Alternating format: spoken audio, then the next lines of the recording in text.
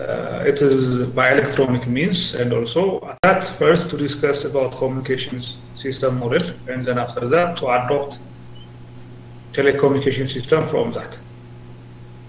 And we will discuss about functions of telecommunication system elements. Actually, the general purpose of telecommunication is known. It is easy for communication of information from one point to the other. But also, it can be interpreted as usage of e-services, which might not involve information transmission from one user to the other, but rather for other purposes like e-marketing, e-health, and also uh, so many other uses can be mentioned. Uh, it is by but in this aspect where we are going to discuss the technical or elite uh, way of explanation of functions of telecommunication systems. Because even the layman can tell you what the purpose of telecommunication system is we cannot stop by saying uh, it is used for uh, information transmission from one point to the other. We need to have further discussion about that, and we are going to do it in the uh, first lecture, which is the introductory part. Then we will talk about protocols, and uh, to do that, first we have to start with standards standards are high-level discussions, agreements in the standards development. Probably uh, the agreement can be done with people that might not be technically versed. They might be leaders of some population. And the organization can be, for instance, the UN. They can talk about things, services that can be provided by telecommunications but in order to interface that to, you know, practice, we need to have protocols driven from standards.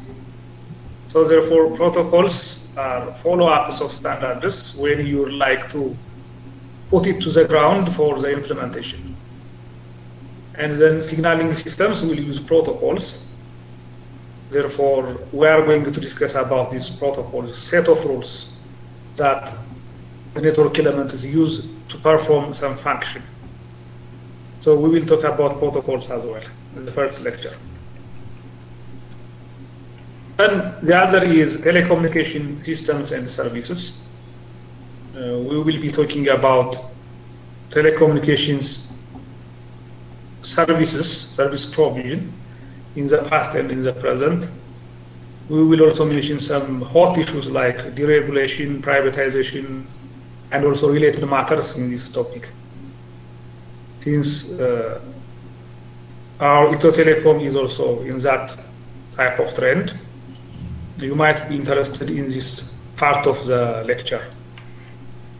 The purposes of this deregulation, the driving factors, driving forces of deregulation, privatization issues, why we need it, is justifiable, and also other issues can be mentioned and uh, we will talk about it uh, in the introductory session. Particular in this part of the discussion, we will have uh, so many points to discuss. And then the last part in this lecture will be discussion of quality of service. As you know, quality of service is very essential for any operator to survive.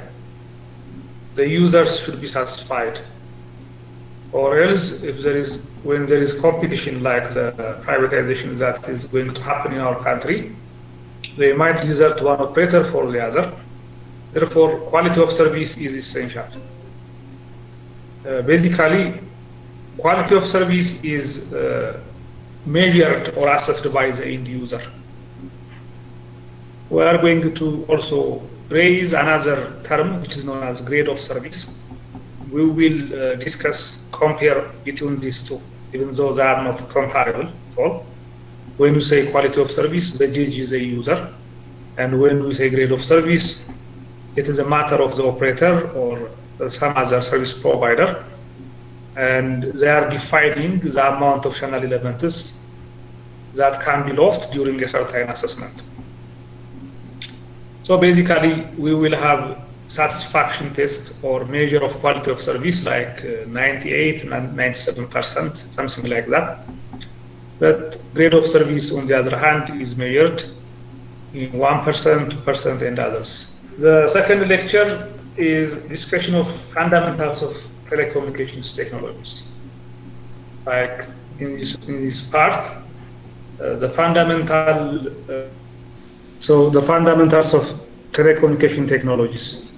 In this, you know, discussion in this part of the lecture, uh, we are going to pick some starting point to discuss about fundamentals of or fundamental concepts in telecommunication technologies. And basically, we are going to compare technologies by their switching capability. That means, uh, like uh, during transmission, we would like to have some discussion of the switching technique applied. So uh, we will have a discussion of uh, circuit switching, packet switching, and also VC packet switching. And uh, we are going to discuss uh, important pointers, and we are going to also have examples of technologies applying that, you know, switching technologies that, that's mentioned. So the first will be categorizing or creating taxonomy of networks by their, by their switching technique. And we will have examples for each of the techniques that we are going to mention. The other is uh, multiple access techniques that are implemented in telecommunication systems or technologies in general. Uh, we have two categories of multiple access techniques, basic categories. Uh, first, we are discuss about the contentionless and then the contention based can also be mentioned with that. Basically, all technologies must employ one or another type of multiple access technique because there is a resource to share and then we have to define the access technique on the data link layer, basically. So we will have that type of talk, multiple access techniques, and also uh, with that uh, at the, at the end of this second lecture, we will talk about fundamentals of switching technology. That means the switch fabric will be discussed in this part. The switch fabric is going to be discussed in this uh, part of the lecture. So after brief discussion of fundamentals of telecommunication technologies, we are going to start the third lecture discussion about broadband communication systems. We will start with this definition. Uh, basically, we will have categories. Uh, we will have wireless broadband and wired or guided medium type of broadband technology. Uh, for the case of wireless broadband technology, we will start with cellular mobile technology and the recent trends in that. That means uh, broadband uh, will be defined later, but the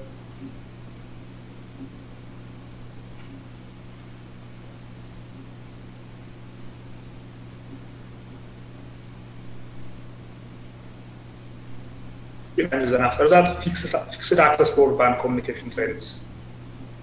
Basically, in the wireless broadband, uh, we are going to pick examples like cellular mobile network and WiMAX and in the fixed access broadband technology, we will talk about the cable technology, cable TV technology uh, that, that, is, uh, that is also serving as an ISP to provide broadband services.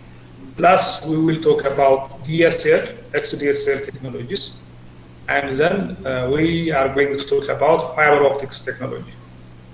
These are the three examples that we are going to use to deal with fixed access broadband communication traffics.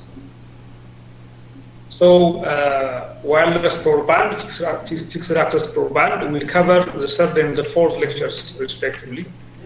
And then after that, uh, we are going to talk about interconnected transmission technology.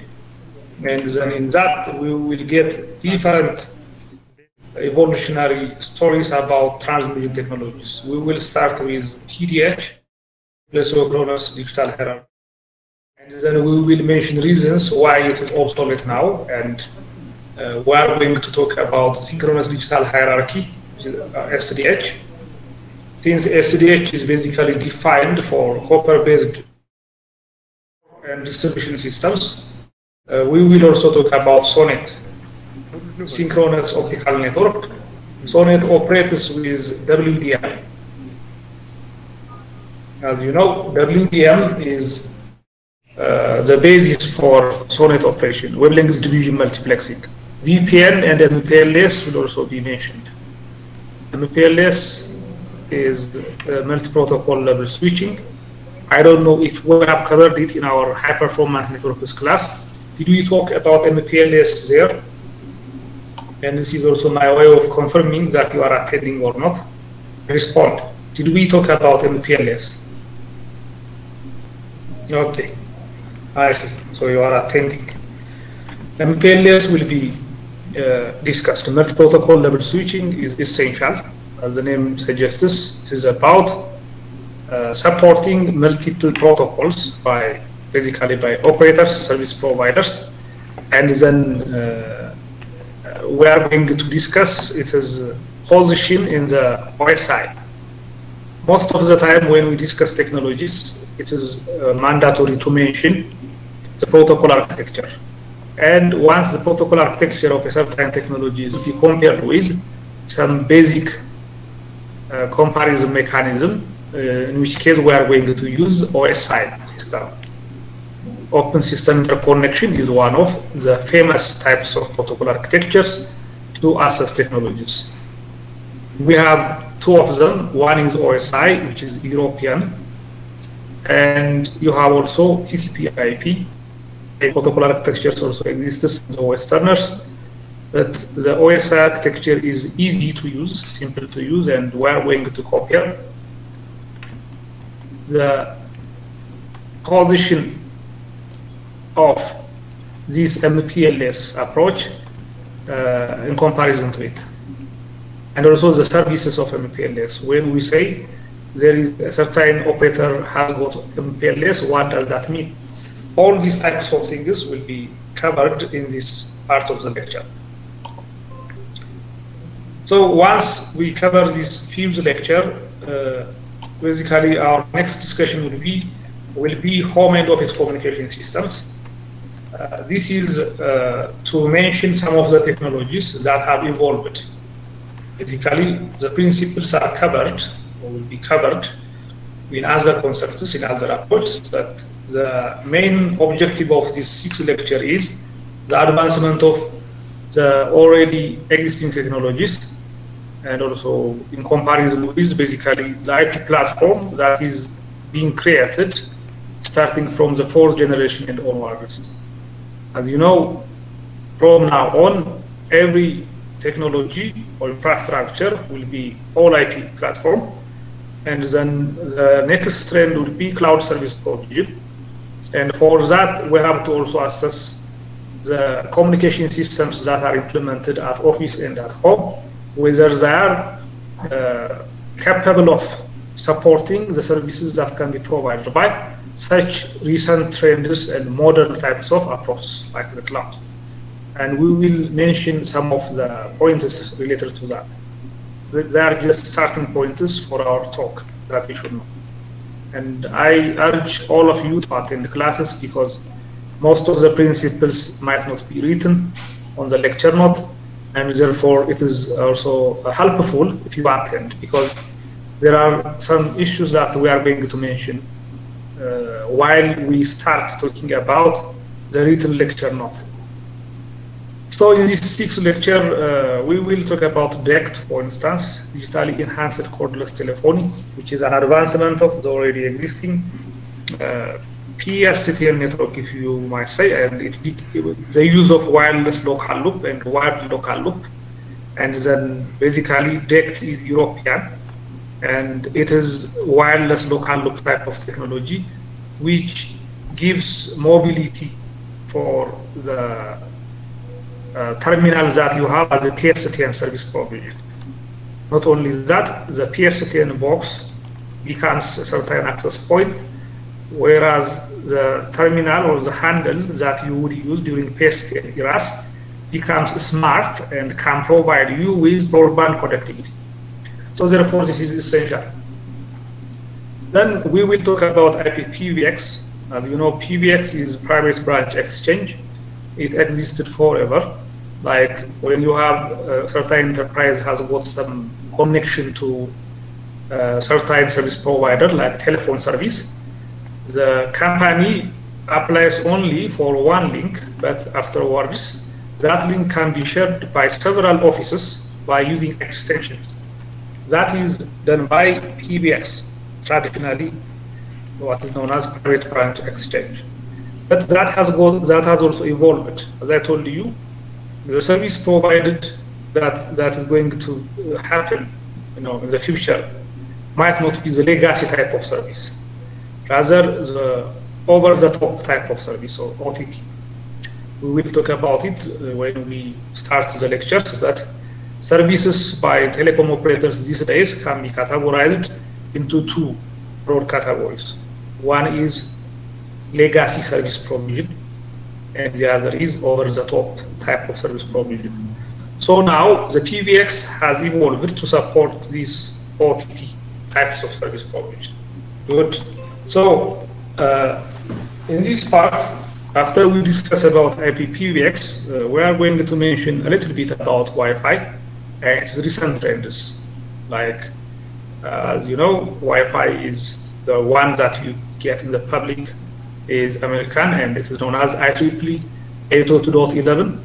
And the recent advancement of that is IEEE 802.11 AC type, which makes use of the TV white space and others to provide broadband connectivity for remote areas.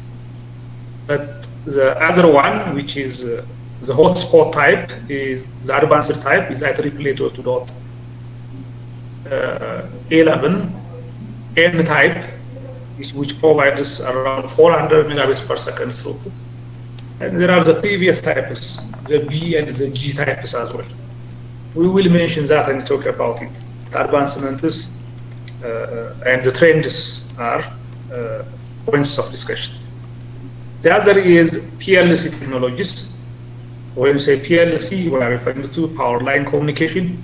This is also an emerging type of technology the mechanism of using the already existing power line for broadband service provision. This is pioneered basically by countries such as Turkey. And the idea is since uh, power line is, you know, found throughout the country, even in the remote areas, you can use that power line to provide broadband connection as well. Instead of uh, thinking about over overhauling other cable or other infrastructure, it is possible to use that power line for broadband service provision with some additional package. That is also uh, a discussion point there. This is categorized under home and office communication systems. So there are others like the short-range communication systems, which includes Bluetooth, Zigbee, and also RFID types of communication mechanisms, which we are going to mention a little bit. And there are industrial automation communication systems, like uh, Modbus and also wireless HART type, and also manufacturing automation and also control mechanisms. So this will conclude our discussion of the sixth lecture. The seventh lecture is elaboration of uh, local area networks in general, since this is familiar to most of you, and I, I suggest, I suppose, all of you, since you took high performance networks earlier.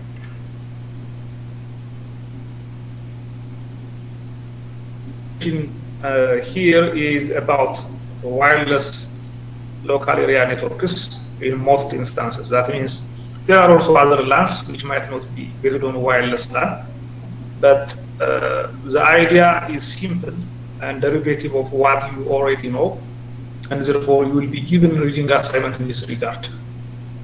Basically, you are going to read about wireline LAN, guided medium type, like Ethernet and others, and wireless LAN. The wireless LAN, most of the discussion will be about Wi-Fi, which you already know. And even you can mention high performance, HiperLAN type 1 and type 2, type 2 that will depend in your uh, uh, high performance uh, networks class, HPN class. So therefore, this seventh lecture is not new, but it is here because it is part of the curriculum. So uh, you should get ready to read about it. Uh, probably I might not also collect the reading assignment regarding local area networks, since it is mentioned in most parts of other, you know, lectures, other discussions that we are going to have. But it is essential and to be included in your evaluation and exams that might appear. So after we talk about this seventh lecture, uh, we will have the fundamentals of broadband network infrastructure, which we started earlier a little bit. But now uh, we are going to have a mechanism of calculation of the amounts by the hierarchies. Plus, we are going to also discuss ATM alongside PDH, SDH, SONET. Basically, this is the hierarchy formation that we are going to discuss. And in the hierarchy formation, what causes the shift from one level to the other? Are there permitted or not permitted levels in the transmission technologies? And what happens after the information arrives to a certain local area, I mean, certain local exchange or base station? All those types of issues will be mentioned and discussed in the eighth lecture. But here you will master what you started discussing there, and you will be able to calculate the hierarchy stages starting from the T1 and the E1 up to uh, the STM higher levels or STS higher levels. STM represents SDH, uh, and STS re represents SONET. And then uh, ATM, as you remember, it is a type of technology that keeps certain level of quality, as you all recall. So now the thing will be ATM will be also considered as part of the transmission technologies. In this all, ATM switch is capable of communicating with SONET, SDH, and other hierarchies. Of course, PDH is obsolete, we will see why it is obsolete, but uh, we are going to see how ATM is considered as uh, the transmission technology that is, you know, in relation to SDH and SONET. The interesting lecture, uh, I would say, is the talk about network convergence and emerging technologies, in which case we are going to talk about uh, current and future technologies like we will talk about the issue of convergence, what it means, and what does it mean when we say fixed mobile convergence. This is fundamental concept, and we're going to see from the perspective of operators, vendors, and others. Uh, so uh, we will have a good discussion about fixed mobile convergence. In short, we call it FMC. Then after that, we will talk about 5G, and it is also architecture. The 5G architecture is basically different from the already existing 4G, 3G, and others. Why is that? We are going to see it. Then the important things, the important concepts like cloud computing and cloud service provision, uh, plus the enablers of that cloud service provision the virtualization concept plus the use of software-defined networking. So therefore, this part of the lecture, lecture 9, is very interesting and we are going to assess the future trends of telecom networks in general. As the subject or the course name suggests, we are going to see what the future of telecommunications will be. Like what will be after 5G, for instance. So the, such types of things Uh, need some sort of discussion, and we are going to accomplish that on the ninth lecture. The last part will be discussion of IoT, Internet of Things, which is, of course, a continuation of the advancement of technologies or service provisions. And IoT is the result of machine-to-machine and device-to-device communication. advancement of embedded systems and system on chip and others. All of these things will contribute for the Internet of Things. So uh, that part, that discussion of Internet of Things will be uh, our, our conclusive remark in the ninth lecture. Plus, there is a term known as next generation networks, which was started when 3G was about to start, but still that NGN term is usable because all the time, at any point in time, you will have next generation network. Or we will see uh, why we, we use the term next generation network and how it is related to fixed mobile convergence that we are going to accomplish in the ninth lecture. Uh, saying that this will be, you know, the introduction of the course in general. There are references as usual. I have references listed down. But uh, my usual advice is that you should not be fixated on this list of books. Rather, you need to have your own choice of books since we are going to touch, jump here and there when we discuss different technologies. You should be in line with the topics instead and then try to elaborate your understanding of those topics. Since everything cannot be found in one book, it is useless to read only one book to have some knowledge about trends in communication network technologies course. So you can have lots of books of your own, but according to the topic, you can have uh, many reference books which are recent, and since fact is always one, so that is not a problem. Make sure, however, that the book that you are reading is uh, reputable. I mean, something published in well-known publisher by well-known publisher and others. So let's do that. And uh, this is the whole list of books that you might read, but as I told you, this is just uh, something that you should follow if you like to have. Then the next discussion will be the assessment that will happen. Like I did during your HPN class, uh, you will have paper review. Paper review uh, will have some 25% of the overall markets credits that you are going to have, approximately 25. So that means you need to prepare for that immediately. You have to start to look for, you know, journals from well-known publishers or well-known institutions like IEEE, Springer, EURASIP, or Science Direct. Lots of them also have. There are also others that I have not mentioned. But you should be careful not to choose a paper from predatory journals, which means journals that that uh, just publish overnight and uh, which are not peer-reviewed. What I would like to review is, is a journal uh, from peer-reviewed uh, publishers or organizations. This should be recent, like 2015 and onwards are regarded as recent. But after you get the paper, uh, the review technique, probably you have also taken research methods class.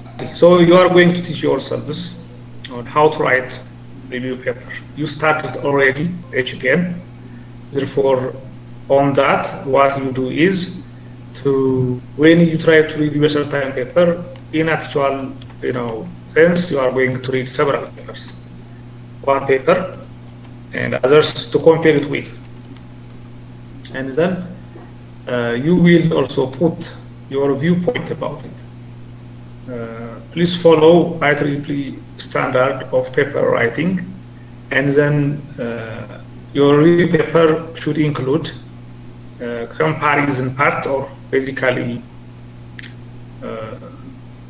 what we call uh, appreciation or also critics or we call it critics section that part will be uh, the one that, that that's going to tell me about your understanding of the whole concept of the paper that you have read. Therefore, do not write your paper carelessly. For two things. One, you will lose credit. And two, you will not get the knowledge that is expected of you after reading or reviewing the paper. So try to do your best in this regard, in this aspect. Take your time, choose paper, and then after you choose the paper, uh, try to go through all the steps necessary to review that paper because reading the paper and reporting is not the point, the target of this assignment, but rather comparing it with other works, putting judgment about the paper that you have read. Because it doesn't take the whole semester to report about a certain paper. Therefore, be careful, it is not report writing. It is paper review, in which case you will be experts to judge a certain author. So take that point and then that will be part of the evaluation. The other one will be reading assignment that I'm going to give you from time to time between lectures. And you are going to report that. In this aspect, uh, what I'm going to see the, the content of your reading, like how much have you read, how much have you taken the reading assignment seriously, and also the points that you have covered where you read, something like that. And if you have good writing for format, that also counts. So the thing is, you have to read and report properly. Read and report. So uh, this is essential, uh, reading assignment, because it is going to fill the gap that is not covered in lectures. So this reading assignment uh, might not be only one, you might have several reading assignments. All of them might account for about 25% or more depending on the number of assignments that you are going to have. And that means, uh, in general, the paper review plus reading assignments will cover 50% or more of the credits. And the remaining part will be final exam. The final exam will have 40 out of 50 marks, and then that is how you will be evaluated. So do your best, and the class representative should compile the choices of the papers ahead of time and send me by the name of the student, the title of the paper, year of publication, or something like that is essential to mention. So after I see the list, I will give you go ahead. Uh, you will not hurry at the end of the day. And when you do that, if you hurry at the end of you know the the semester, uh, definitely you are not going to produce good type of review. So do it as early as possible and also get prepared to read and also be attentive in classes. Uh, our classes shall be conducted online, but exams will be conducted in person, unlike our previous encounter. So uh, you should be ready for that. That is how we are going to continue this semester the time of the class, the lecture will change. I'm suggesting the the coming week we will have it at 6 p.m. this same day. But accordingly we will reschedule and then if it is okay for you to have it on Saturday, for instance, the morning part, uh, I might think about it. Or in the afternoon, we can also make it late afternoon, something like that. Uh, since I have also another class, so uh, that is how it is going to be. So that is all from me for today. If you have any question about the introductory session. Uh, somebody said, how about uh, mid-exam? Well, uh, I find it not necessary in most instances because you are going to write paper, you are going to read, read you are going to have reading assignments instead of having mid-semester exam. Uh, it is better for you to increase the points the credits earned by the paper review and reading assignments. In my previous experiences, most of the time students uh, do not do very well in mid-term exams and also for that matter final exams, but uh, you might be better ones, I don't know. But because of that, uh, it brings my judgment about your grades question when I see, you know, uh, students not performing well in the mid-semester exam. So that is uh, my choice of evaluation. Of course, the lecture notes, I will definitely send you the lecture, no lecture notes. After I finish every lecture note, I will send you the lecture notes to you. But as I told you, lecture notes are only you know some pointers in the discussion. You have to take notes as if you are in class. Let's do that. You will benefit from this one. So I will try to have some slot in the afternoon if I can. If not, we will continue like this. Maybe we might change the, day, the date. Uh, Wednesday can be changed to some other day the week. And then uh, we will continue that way. But uh, for most of you, since you will be uh, at job, I'm going to conduct the class around 6 p.m. in the afternoon. I will let you know uh, uh, early. Or, so I will do that. I will inform you about the session and something like that. But the thing is that uh, it should not coincide with your work hour. That I understand. So we are going to deal with it that way. All right. So uh, I will see you in the coming Wednesday.